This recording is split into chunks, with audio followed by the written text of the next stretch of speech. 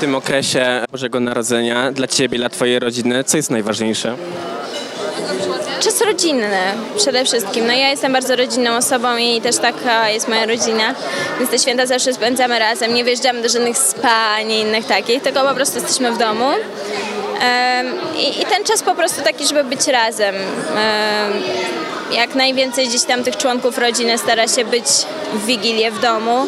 No moja siostra na przykład mieszka za granicą, więc nie w każde święta jest, e, bo jest jednak jej trudniej dojechać. Mm, Ale jak nie w święta, to w styczniu wtedy przyjeżdża, więc my tu mamy przede wszystkim o relacje rodzinne. Wspomniałaś o siostrze, która jest za granicą. E, Jak wygląda Twój kontakt z nią? Jest bardzo dobry, czy, czy e, raczej przez to, że jest za granicą, jest dość ograniczony? Trochę jest ograniczone, no co tu dużo e, kryć, ale mamy przecudny kontakt, cały czas rozmawiamy, piszemy, e, jesteśmy bardzo blisko, bo też e, no, całe e, moje e, wychowanie było w, razem z nią, w sensie ona jest 9 lat starsza, więc ona gdzieś tam miała wpływ na to moje wychowanie. Em, najpierw była troszkę taką drugą opiekunką poza mamą, a teraz jest już przyjaciółką i wie o wszystkim, często pierwsza.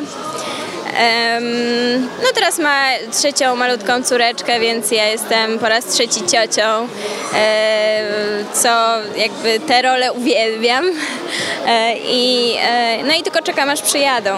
Nie żałujesz ewentualnie, że w tych niekiedy najtrudniejszych chwilach dla Ciebie w życiu nie ma jej w Polsce, nie możesz po prostu do niej pojechać?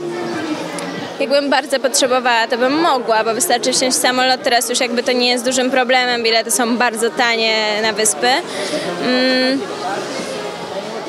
By- Były takie momenty w moim życiu, że rzeczywiście było słabiej i po prostu kupowałam bilet i leciałam, jeżeli nic mnie tutaj nie trzymało.